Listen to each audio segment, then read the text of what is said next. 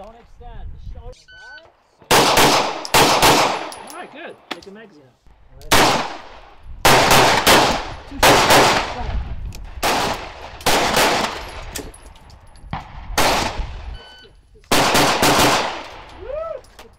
One, it's in a direct response to the hate crimes. There's been a absolutely, you know, everyone knows it's been reported, you know, the increase in hate crimes the past two years because of the scapegoating of Asian folks because of the pandemic, right? And then two, just a sen- general sense of insecurity. There's been a huge increase in violent crimes, right? Random attacks. So people are concerned for their own, you know, personal safety and their families. Through my experience, anytime there's been a mass shooting, uh, my business goes up. The interest in guns goes up because a lot of people feel like I don't want to be vulnerable. I don't want to be like the only person that's vulnerable while someone's attacking me with a gun.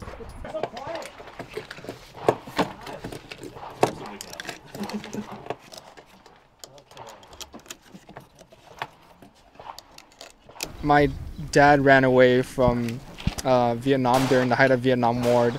They was uh, a lot of violence that happening, and when he learned that I got a gun, he was ultimately very disappointed. It's like, oh, you didn't need this. Uh, we had the police on our side.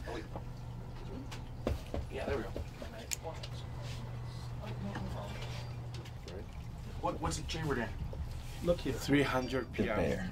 They chase the bear. The bear will run Was that, away. was that in California?